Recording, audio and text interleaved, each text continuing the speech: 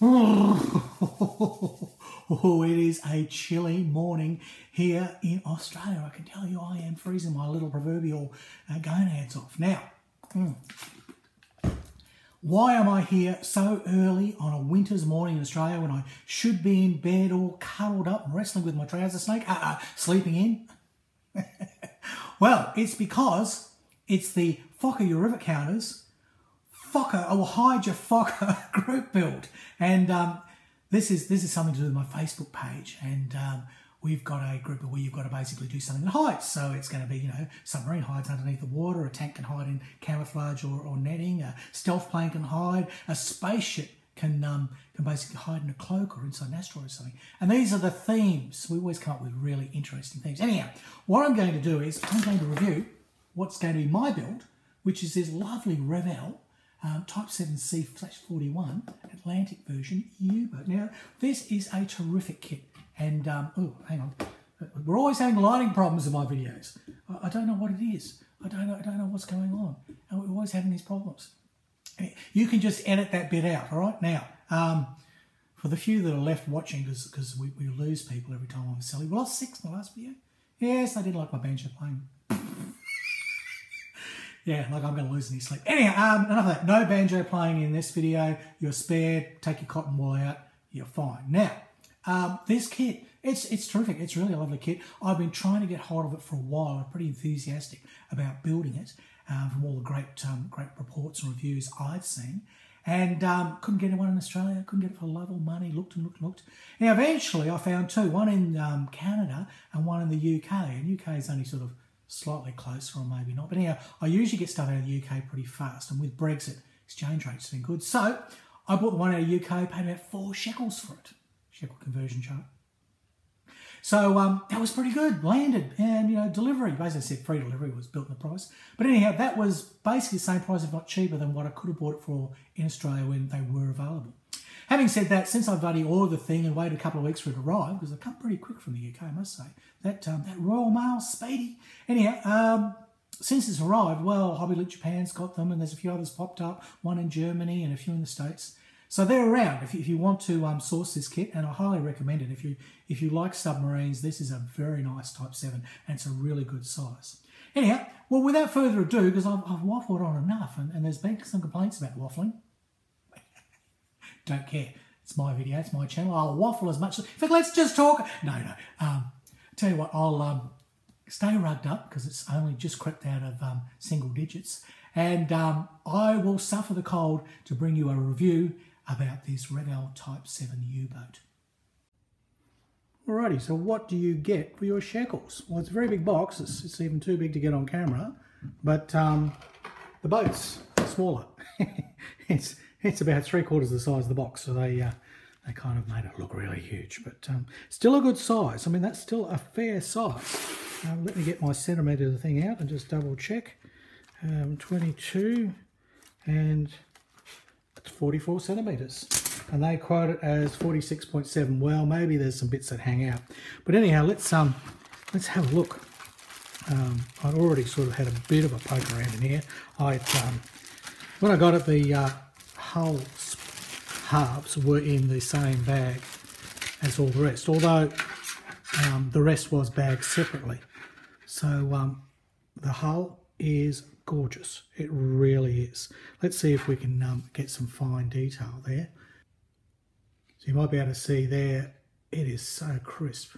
I mean, this isn't like some of those cheap old Revell kits you get where everything is just soft and miserable. Look, there are beautiful, fine um, the raised metal lines, but that'll probably work nicely, give it a wash. But then all the, um, of course, all the little little holes there, which which um, I imagine let the water out as it goes up and down and all that sort of thing. Um, they're all nicely, nicely moulded. They're very good. I wonder if it's even worth trying to draw all those out. But really, um, just put a little black wash in there and they'll look fine because it's a lot of work to draw those out and they're not just like portholes where you can use a um, your drill bit and you make a circle. Well, you're to have to do two and then cut. I, I think I'd be there for a month of Sundays. And I know some people have done that, and that's terrific if you can, but um, I'm not going to bother because I honestly don't care. Those are rivets. Look at them. all individual rivets. That is beautifully moulded. I mean, there's no complaints there. This is a Revell of Germany at its best. Is a lovely kit. And this is um, 2009 supposedly, but I think the sprues are marked a bit earlier. We'll get to that in a sec. I don't think I say on the inside. Oh yes, here we go. There's a bit of blurb here. Um, Revell, Germany, but 2006. So this is actually 2006, but I think this kit was released 2009, but I'll, I'll double check all that. But look, uh, you can't complain about the detail. That is just beautiful, you know. There's not much that's better than that out in the market, honestly, that I have seen, right, with my feeble old wombat eyes. Anyhow, let's move on. This is the other bag that was in that big bag, and um, all the rest of the sprues, there's only a few. The, uh, the other two sprues are here. So let's, um, let's, let's look at those one by one. Now, um, this is basically just your stand. Um, these are some separators to um, formers for the hull, or if you like, you know, um, they would they would represent um, watertight walls, that sort of thing. Yes, probably. Who knows? Is there things inside the hull? You know, you're asking me to do a review. What the frick would I, what I know? It's my first submarine. Anyhow, those things go inside the hull and they make it a lot stronger and all the rest of it. So you got props, um, tiny bit of flash on the props. First bit of flash I've seen. So yeah, tiniest bit on those props. Really, hardly anything to write home about. But you know, this is about the only thing I can fault so far. The um, the kit's really clean. So looking at things like um, those periscopes there, there's there's a tiny bit of flash on there, but that will come off so easily. It really will. There's um, there's not much to worry about there. They they're not hugely so, and those are fine parts. So, um, but then you move on to um, to other things. Whoop! Don't bump the bleeding iPad, Harry. Um, you know this part here, lovely and crisp, really good. And and over here you've got um, the anchor. Really should have thought through this bloody iPad stand before I started doing close-ups. Um, the anchor lovely, and cut points are good. And um, you've got some, well, I call them yard arms, but they're probably not. It's probably something else. Again, fairly good. Tiny bits of flash, but nothing outrageous. Everything else is beautifully crisp and clear, which is not bad for a uh, for a kit that's over 10 years old. Now, I don't know if this sprue is dated.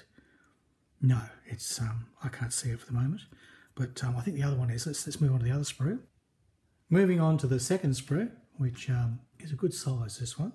And we really start to see some of the detail pop. We've got the um, basically the decks in three pieces. Um, we've got the, um, the conning tower, which is in various pieces, and the little decks that go in there. Various bits and bobs and pieces, which we'll see in the instructions shortly. So I won't try and embarrass myself trying to say what they are, because I haven't got a freaking clue. First submarine ever. Uh, now, the one disappointment are the, um, the rails. Even at 1 to 144th scale, Apparently they're still just a little bit fat. So um, not a biggie, not a biggie at all. You still could build it if you're not worried about that, you know. If you're not worried at all, you could just clean those up and then they're not too bad. There's a little bit of gunk on them, but really there's not going to take much to clean those up.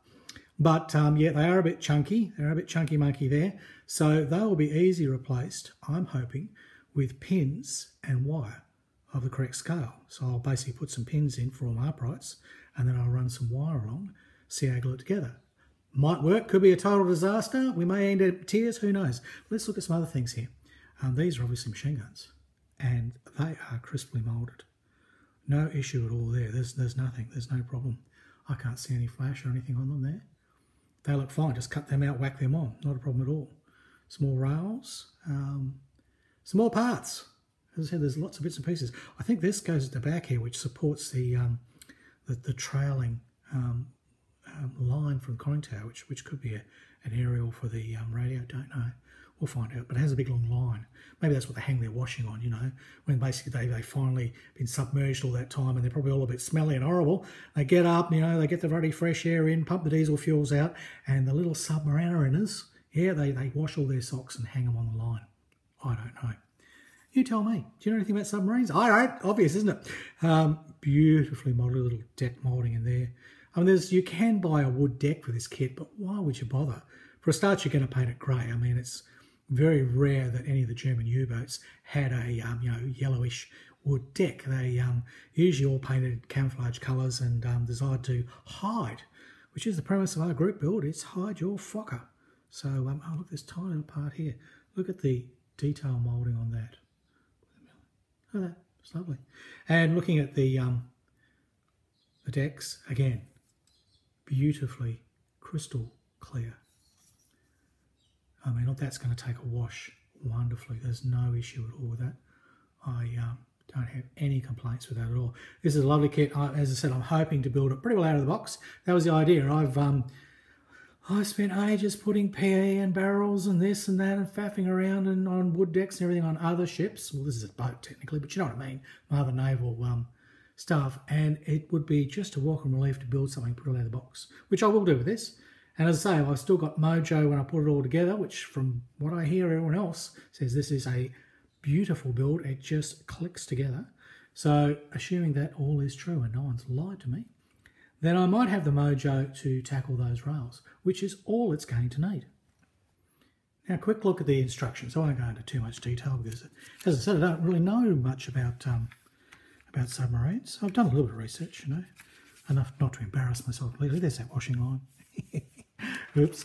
Yeah, let me know why they have those lines. I mean, there's no yard arms or anything to rig off. I mean, do they put their semaphore flags on there? I, I don't know. Do they hang their socks on there? Don't know. I know on some of the early ones they had a um, you know little cutter here for cable cutter sort of thing. Uh, but the Atlantic version and the, and the, later models don't seem to have that. They just have the clean line. Um, but the um, the early ones have this big saw sort of thing here, and then another little mounting on the front of the um, the bow there, so that they can um, you know cut into cables and through nets and all that sort of stuff. I suppose you know that's what I'm thinking. I'm thinking because I don't actually use these for ramming, do they? Anyhow, rattling on. Usual Revell stuff. Blah blah blah blah blah. You know, glue it, fix it. Uh, don't don't bloody start World War Three. You know, do not submerge in your bathtub with the pitot tubes fully loaded. um, now, the annoying thing is Revell sort of gives you, well, they give you all the colours um, it's only referencing Humbrol, I think.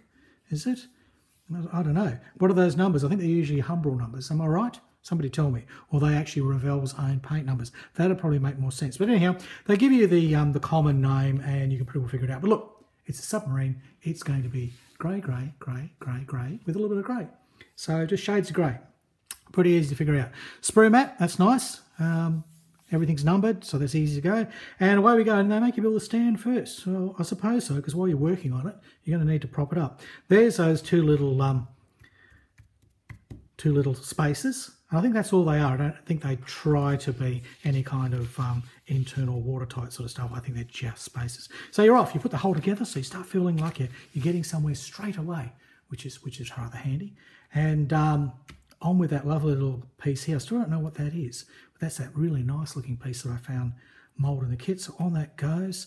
Um, we've got um, pointy up things. Uh, I don't know if that's a periscope. It might be. Wish they do. On Tamiya kits, they actually sometimes tell you what the parts are. They have little names.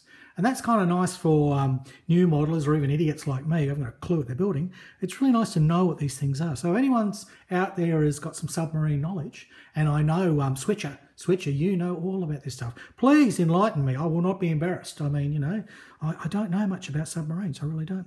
So on go some bits and some decks and everything like that. And um, it's pretty simple. Some some little vanes and planes here, which, which help it go up and down. You've got your um, assembly here for the, um, the, the, the props and the screws. And there they are. Little screws. On they go. Um, again, that all goes together. The little rudders, everything like that. And um, Revell gives you little little clocks here all the way through. It's all about time travel, I think. I'm not quite sure. Might have a connection with Doctor Who. Don't know. Don't know. Don't know why they do that. Maybe it just tells you you can only do this one at 10 past 2. Oh, they're all 10 past 2. Apparently, you can only make this kit at 10 past 2. That's a bit of a worry. Um, Okay, so on goes those lovely front, front anchor and the, the front vanes, which go on there. And then finally, you've obviously got a sub-assembly here where you've made that deck and in it goes. And there's a big, oh, be careful here. There's obviously something to worry about. Don't know. There's some little clippy cloppy thing. There's a huge big exclamation mark there, which which even for, for wombats like me go, you better get this right. And they've got sticky tape here, so at this point they um, they think you should tape something. Maybe you got to tape the deck to that, yes, obviously got these lovely little sort of things everywhere, little pictographs, which is rather clever. So again, on with that, uh, more more sticky tape because they're saying basically um, get the rest of the deck on, put that all together. It's all quite lovely, all quite lovely. Um, not hard. There's nothing difficult in this kit really. And here we have periscopes and snorkels, and um, there could be radio antennas. There's all kinds of things. Lots of pokey up things for this boat. Lots of them. I'll have to find out what they all are. It will be quite fascinating. I'll have to do some more research. But basically, you just paint them grey, so that's all I need to know for now.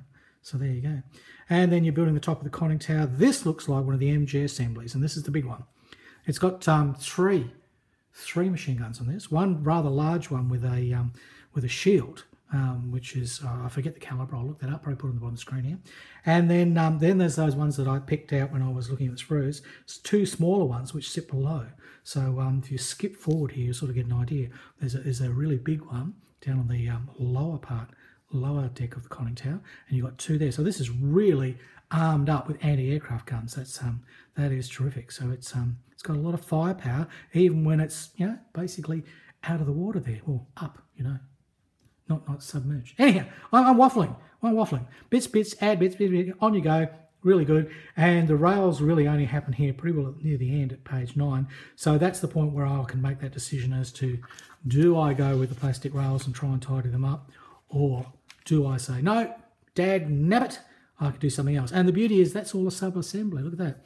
Whole conning tower is a sub-assembly, so I should be able to paint up all the bits separately and and do a nice job of that. Same with the decks, I should be able to paint them. I think they're different colours. So depending on the colour scheme I choose. So um, da, da, da, there you go, finished. And then they say, put your string on. You know, put the washing lines up. There we go. Now let's have a look at some of those, um, those paint schemes.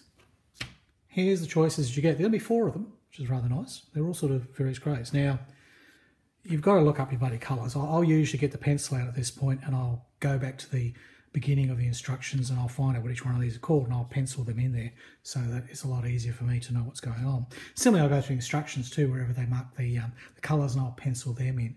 And, and anything else too, that any notes I need to make, anything I've noted about the construction where I think, well, I'll need to paint that beforehand or leave that till later. I'll do lots of little pencil notes and we'll see that when I actually start building the kit and I will video that because this is something unusual. This is something new and different. So I will make a video series on it. So basically, yeah, um, you've got um, obviously that one there is L, which I think is light grey. And then you've got B, which is, you know, sort of a very dark B colour. In fact, we have got, look at this, I have got I can separate. So there you go. So B is granite grey. See, you've got granite grey, you've got dust grey, you've got um, basically uh, silvers and steels and um, and, and, and uh, basically here you've got a sky matte and a blue matte and a grey matte and, and a green silky matte and, a black silky matte. Um, yeah, there's a lot of greys in this. But anyhow, these are your colour schemes. I won't go into them too much detail, but you do get um, various ones for various years. This is from 1942. It's an earlier earlier one, and you've got lighter and darker colours. That's quite a nice contrast. That's interesting. Then you've got um, you've got a very dark grey one here from 1942 as well. Um, so there you go. That's all very lovely. Looks like there might be a little radar thing there. So um, who knows? Who knows? And then um, then you start to get into um, to the ones with the, with cross. As, as on the box art, there's a, um, a sort of a big big golden cross there. So these ones are from um, also 1942. Everything's from 1942. Oh, this one's 1943. So there you go. So anyhow, you do get um, a few options as to how you want to paint it up. But really, grey, grey, grey, grey, and it's very hard to tell from the um, from the drawings that the Revell give you. I mean, I really prefer things like what Hobby Boss and Trumpeter do, where they give you a, almost a full size colour drawing and it's separate. It's on a separate thing you can lift out, and you can really see at a glance what, what colour everything is. But anyhow, this just takes a matter of um, I'll pencil in what the colours are called, and then I'll be able to reference through and check. But I think I'm going to go for one of the early ones. I'm not so keen about this gold gold cross thing. Um, probably due to my skills of trying to paint it. I actually sort of, um, I wouldn't mind something a bit more contrasting in colours. So this one, um, although it might be an illusion because they're just the colours they've picked the shades of grey to give their indication. It's usually not always an indication actually of the colour. But um, we'll see. When I when I write in the things, I'll see which one and away you go. But it is nice to know that you've got various choices. So there you go. So I'm going to stop rabbiting on uh, now and get on and build this thing. And there'll be some progress build videos in the week. So we'll actually have some videos of me doing something for a change. All right, that's it for now. So it's goodbye from Australia and it's hooroo from Harry Houdini.